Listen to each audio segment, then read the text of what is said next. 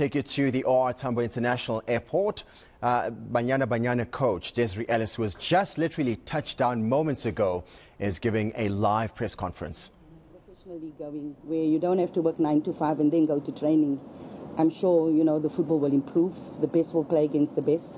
We will also attract most probably the best foreign players on the continent, and that will really help us um, going forward. But we've got to start as soon as possible. It's never about me. Um, it's always about the team because I always say if the team does well, the individuals will stand out. I don't work alone. I work with a fantastic group of people um, that each has their own expertise that they bring into the team. Um, because without that, uh, we cannot do our well we do the way we do when we when we succeed. To the players as well, because we can have this grand plan, but if the plan is not executed, you know, then the coach is in trouble. So it's never, never about me, but of course, if the team doesn't do well, I stand on the red carpet. That's just how it is.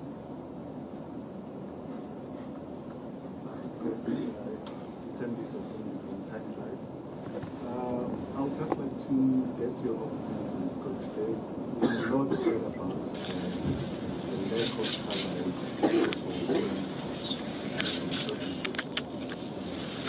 Good morning, everyone. Uh, thank you so much for coming to our presser today. Um, it's actually about 60 days in camp. Like we've been in camp. Don't you think that sort of service uh, whatever we are trying to do? I don't know the reasons why, and I cannot answer because I don't know the reasons why um, interviews were not done. Uh, the media plays an important role, of course, in profiling, plays an important role in coverage, um, but I don't know the reason why they were not done. So I can't give you an answer on that.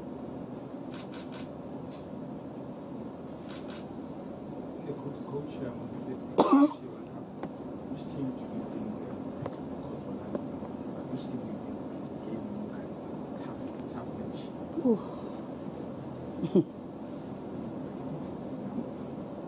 Very difficult to say. Who do you think at the back there? Who do you think? Very difficult to say though, because um, I think we gave as good as we got against Sweden.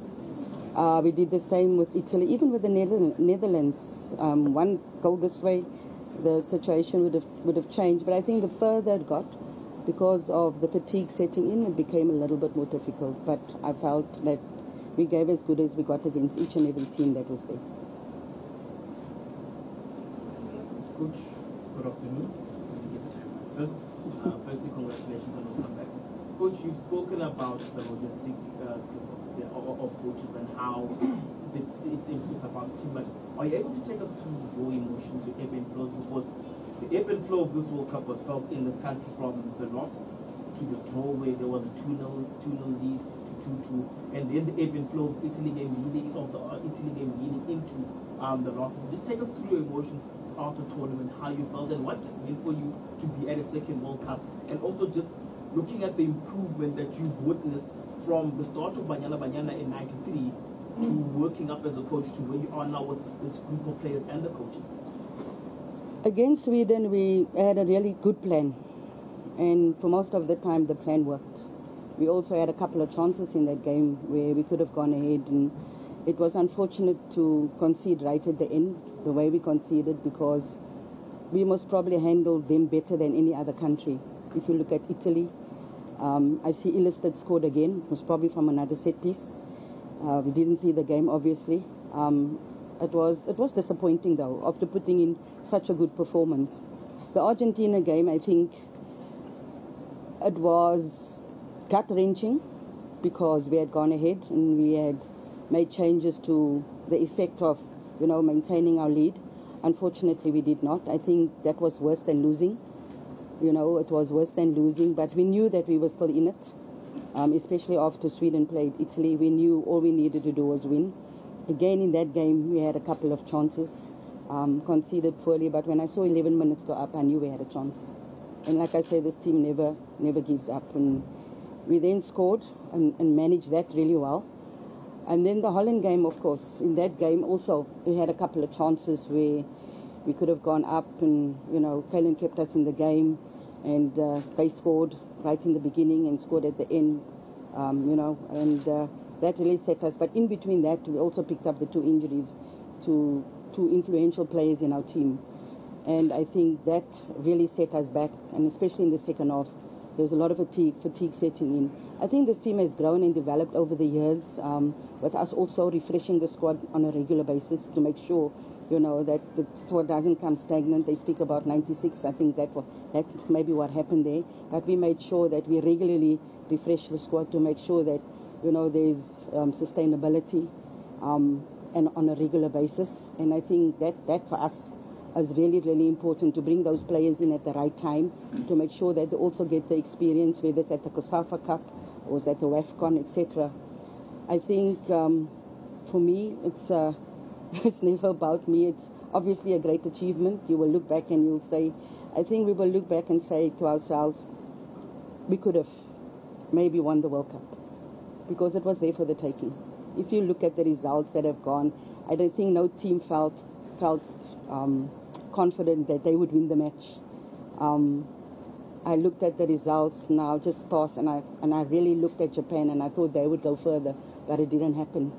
You look at Germany going out, you look at Brazil going out, you look at all these countries going out, and you say to yourself, this is a type of World Cup where if somebody goes on a good run, you know, all the way, they could have could have won it all the way. And unfortunately, we, that, that was just a little breach too far for us, but really happy with the progress. Um, now it's about preparing for the next four years. Um, obviously, the Olympics is next year, but preparing for the next four years. And um, we'll take a break and then see what happens after that. My name is Umuto Mkwenda from One. My question is for the coach and the deputy president. I'm going to ask about the thorny issue of bonus incentive. I think when the team left, there was a bit of a deadlock and, and, and stuff. So can you tell us if there's been an, there's an agreement now or if that matter has been resolved and what's the way forward for the support staff? I cannot speak on that behalf. I think um, maybe the vice president needs to come in there because the negotiations is not done with me. The negotiations is done with the players. It's done with the staff. So uh, he will be the best person to answer that question. Yeah, no, thank you very much. I think uh, that that matter um we we have number of times uh, alluded to it, and of course uh, the CEO is the right person to be dealing with those things. And when she was here, um, such a question came, and she was clear that uh, they are dealing with that matter. But with the players, I know it's uh, it, it was it was agreed, and of course there are suggestions and issues around the, the staff and all of that, which is taking is being given the necessary attention by the administration. Just, just, just to follow up on that, Okay. um, the money from FIFA, uh, the participation fee, how is it being paid? Because you see this organization saying it's not to be paid directly to the players or to the association. When it comes to the And right, that brings us to half past five. We will have more details for you from the Desiree Ellis press conference happening live right now at the OR Tambo International Airport.